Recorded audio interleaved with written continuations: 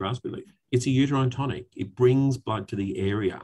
It, Yeah. it's, it's a organ specific remedy, you know? Yeah. And I think they're really useful to look out for, you know, like your lung specific entities, like remedies, like your elecampane, and, you Yeah. know, things like that. Like you, you have, if you have an organ specific remedy, it's just generally for that organ. And that's what raspberry leaf is. It's a uterine herb. Yeah. You know, it's a, it's specific to the uterus. So it brings blood to the area, it brings vitality to the area. Um, it uh, just as an aside, I also use it for excessive uterine bleeding. I find it really helpful, interestingly, because it helps the organ work well. Hello and welcome. Mentoring with Geraldine is a bite sized practitioner podcast for naturopaths, nutritionists, herbalists, and practitioners. This podcast responds directly to your needs, the needs of the practicing natural therapist. With interviews, herbal discussions, something business, and something clinical each week, you'll get the variety you need and enjoy to stay motivated in practice. Hello, everyone, and welcome to Mentoring with Geraldine and the Bite Size Podcast. And today I've got David Casteleijn, who is the president of the NHAA. Um, but he also, or and he also runs his own practice in Brisbane, and he spends a lot of time working with people with anxiety and depression and gut issues. But one of his major passions uh, is herbs in pregnancy. So I thought we'd have a chat with David today and find out because there's a lot of discussion about what you can and can't take, what herbs you can and can't take in pregnancy. And um, and of course there's raspberry leaf. Everyone loves a bit of raspberry leaf. And there's, oh, can you take it in the first trimester? Oh, la, la, la, la. You know, slippery elm, all of the things. So I thought, well, let's have a chat with someone who actually knows about his herbs. And for the practitioners out there who get questioned all the time about herbs and pregnancy, this is going to be a really good one for you. So, David, thank you so much for joining us today. Hi, Geraldine. Lovely to, lovely to talk to you. It's And great hello, having everyone. So, raspberry leaf. Tell us a bit about raspberry leaf because I mean, we all want to use it. It's you know, world all over the world. Tea bags. You know, I actually have a box of tea bags in my cupboard that I haven't opened because, strangely, I'm not pregnant. But also, you know, I've got so much other herbal tea, but I know it's sitting there. But raspberry leaf. How often do we give it, and why would we give it? What's the what's the gin? What's the goss? Yeah, I think I think that it's uh, it it um, it's so terribly misunderstood these days, which is um, I think very sad. Um, I remember as uh, in the in the years coming out. Um, once once I did start practice um, in the years before um, the turn of the century, actually, I think it's hilarious. You have been in able to say practice three Yeah, decades. We just worked out. before, before the turn of the century. Uh, so, um, in the years before uh, then, um, uh, we would use raspberry leaf for it's one of its main indicators was for morning sickness. Right. So it's a it, and it's incredibly effective for morning sickness. Really, really useful. Um, and so for to use it in morning sickness, you need to use it in the beginning. You know, you need to use it um, from the moment you know you're pregnant. Really, you, is when you you know very soon after that you've got trouble with morning sickness often, and uh, it's one of the best herbs for morning sickness that I know. And so we were using that um, really um, comfortably. Um, I was using it, you know, regularly and comfortably. Um, and then sometime in the early 2000s, I um, prescribed it to someone and, and she looked at me as if I'd just sort of landed from Mars. And she said, you know, of course, you know that's contraindicated in pregnancy. And I was like, what? what? Of course it's not. It's like, what? This is the most ridiculous thing I'd ever heard.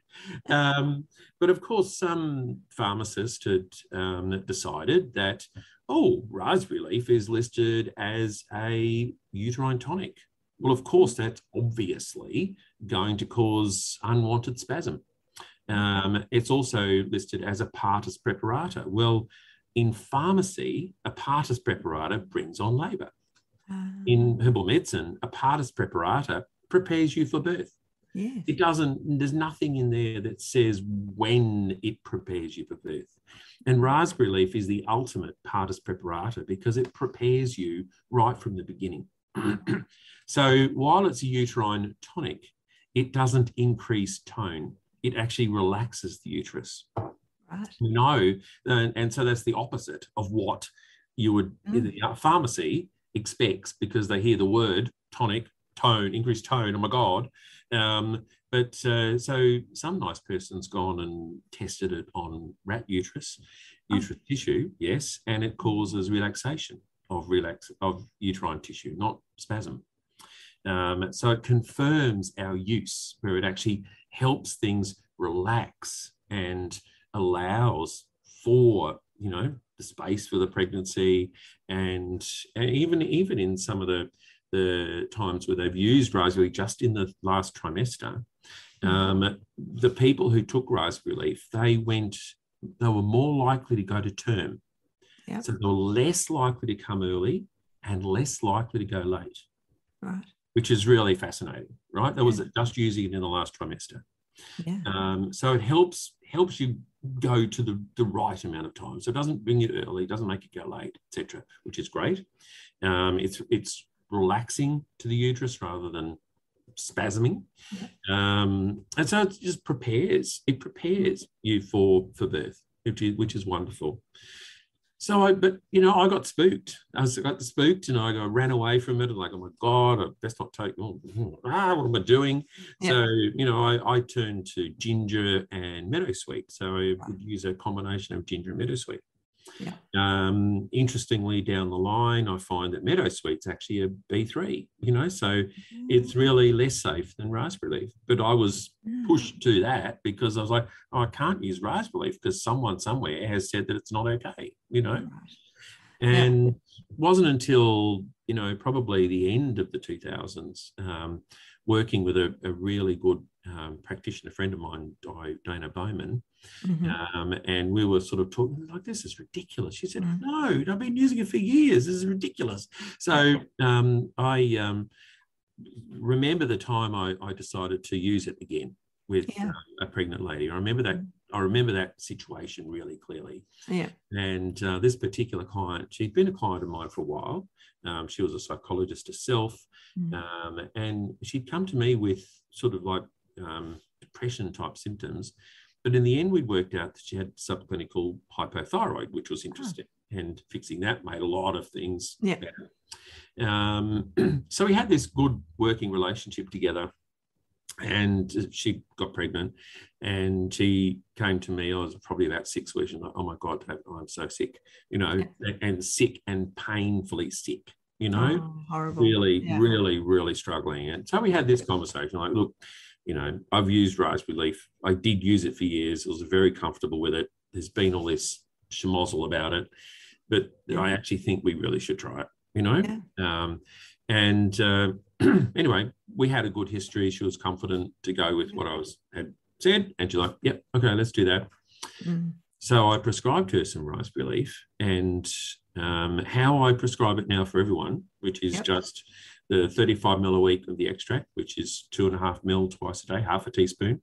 Yep. Um, and in fact, I think it's a lot easier to get half a teaspoon down um, twice a day than a couple of cups. So you know, um, of the reasons totally. One of the reasons I use the extract rather than the tea. Yeah. Um, and the other thing is raspberry leaf is very strong in tannin. So um, if you're drinking cups of raspberry leaf tea all day, you're potentially binding your iron, Oh, um, which is not really what you want to do. No. So um, I quite like the extract for a few reasons. Anyway, Mm. um, I'm talking fast because I'm excited because I, I love. I'm all good. It means people don't Um, have to turn up the speed on the Yeah. conversation. Yeah. so um, the um, uh, prescribed her this, and she t- she sent me a text the next morning at six a.m. and she said, "Dave, it's gone." Go. And um, and it, she did not have morning sickness at all the remainder of her pregnancy. Yeah. So um, you know, I remember that so clearly. I'm so Yeah. glad I went back to that. I remember the, the time she got pregnant the second time, the first thing she did was call me and go, uh, when could I come in? Because I need some raspberry leaf extract. and um, so then I started using it more and more. Mm. Um, and you know, regaining my regaining my power, I guess, regaining confidence with it. And then um, another client, quite a few years later, would be at least 10 years later, uh, she was, she'd been again a client of mine for a long time um, sort of helped her mm. through her PhD, a lot of lot of nerve work, etc. A lot of repair after she finished. I yeah. listened to her and not done mine. Anyway, I'm in the middle of mine, so I just keep going. Um, that's all you do. You're in no, the middle no. I, keep going. I, I, think the best advice is just don't start the PhD. That's the best advice. Yes, best advice. Yes. Um, it's the advice I'd give anyone. Um, but nevertheless, when you're middle of it, you just sort of got to get out of it somehow and keep going. Got to keep going. Um, yep. So um, anyway, a lot of repair afterwards, and then and then she uh, decided that oh, okay, it's time to be mum. Yeah. Um, and she didn't, no partner around, so she was going to do IVF. She was about 40. Mm-hmm. Um, and uh, she's like, oh, you know, she actually came to me after she'd been to her first gynae appointment and um, she'd been on the pill for 20 years. Mm-hmm. um, so she'd had a, hystos- a hysteroscopy, mm-hmm. had a look in with a camera, had a look inside, and she said, oh, no, the um, the uh, outcome of that was um, the gynae said, uh, "Oh, I'm sorry, there hasn't been much love here." Um, she's uh, she's uh, what, what's the take with the bedside manner? Um, but um, you know, she's also what can I do? You know, what can I do here? It's like, oh well, you know, we had a really good chat about it, and um, I didn't want to interfere with any of the hormones that she was going to be taking. Mm. so I said, I think we should use raspberry leaf because mm. it's a uterine tonic. It brings blood to the area. It, yeah. it's, it's a organ specific remedy you know yeah.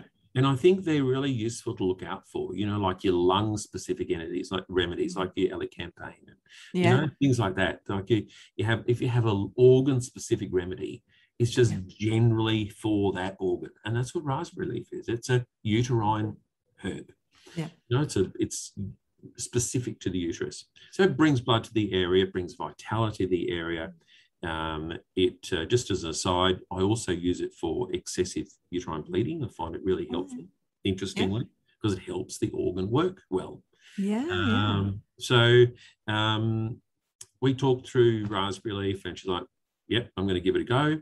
Um, she did same thing, two and a half mil twice a day, uh, so half a teaspoon twice a day. That's all.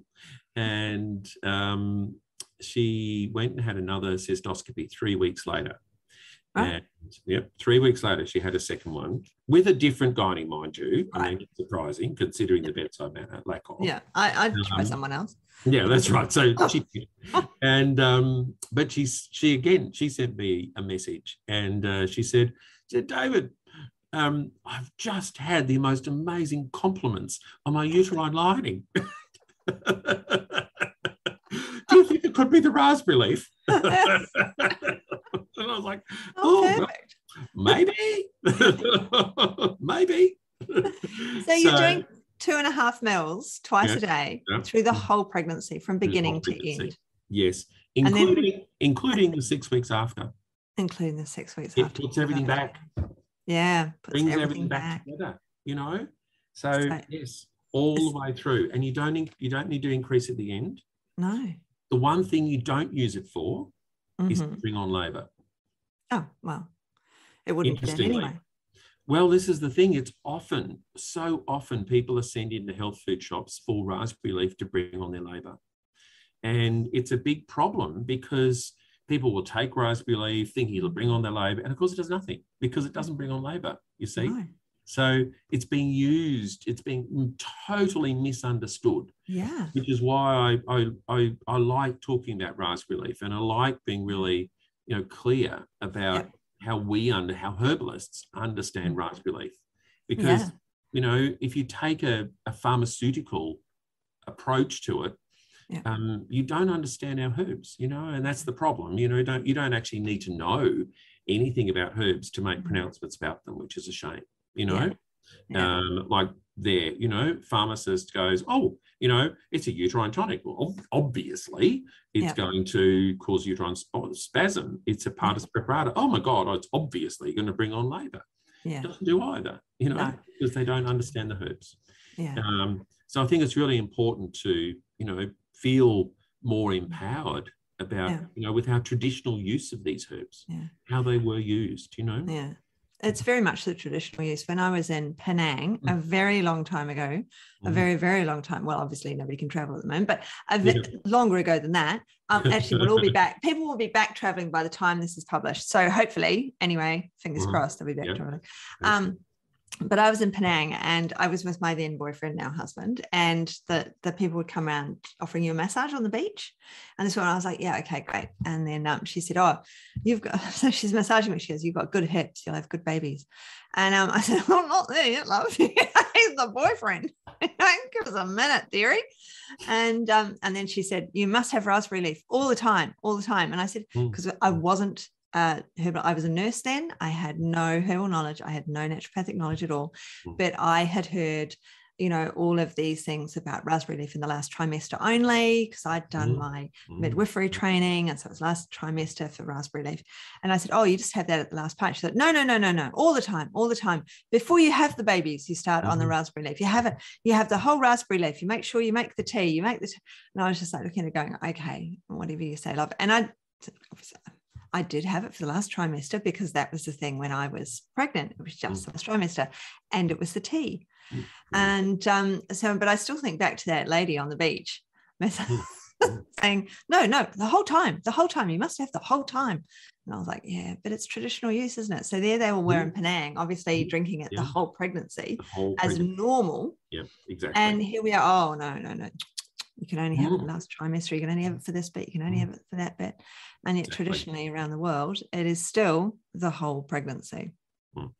Yep. So, um, it's a, I mean, it's a wonderful herb, and you know, 2.5 mils twice a day means you can literally sell them a bottle with a big label on it. Precisely, yeah, yeah. It, it's Yeah. so simple, you know. Yeah. It's such a simple treatment and such Yeah. a simple supporting thing, you know, that you can do. Um, and you know, I like it for the people who are um, wanting to, you know, trying to assist Yeah. with their fertility because it brings blood to the area, nourishes the organ, you know, all of those wonderful things that you want to happen Yeah. without worrying about are you interfering with the, whatever treatment's happening? Are you, you know, changing this hormone or that hormone? You don't have to worry about that. You're just supporting the organ, you know.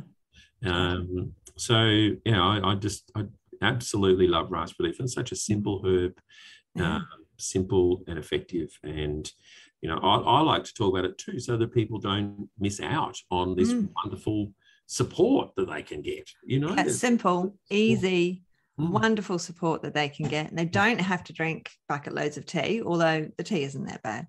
Um, I mean, I Not that bad, exactly. It's no just- when I when I drink raspberry leaf tea, I tend to put fresh ginger in it and Mm. sprick it up a bit. Mm. Mm, that's right. okay.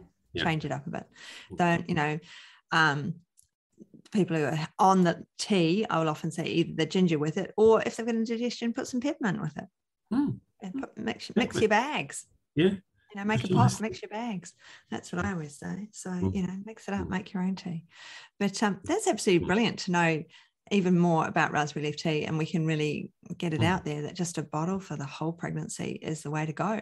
Yes. 2.5 mils twice a day of the tincture prescribed by a herbalist. go That's and see your Go Go and see your herbalist. Exactly. go and see your herbalist. They'll be able to So tell you what- what, you know, the, Ah, what's right and what's not. Exactly. Yeah. Mm. So I will leave it there for today. Thank Yep. you so much, David. And I'd like to have you back again if that would be all right with you. Oh, You've been be on before, Yeah. and I absolutely love having you on the cast. So um, thank you very much for talking with us. Thank you. Thanks so much for joining me today. Don't forget to rate, review, and subscribe to the podcast for the weekly episodes. If you'd like even more support and learning, then the Academy is for you. Here you'll find part two of the herbal discussions, more clinical learning, and case studies to support your clients in practice. Bye for now.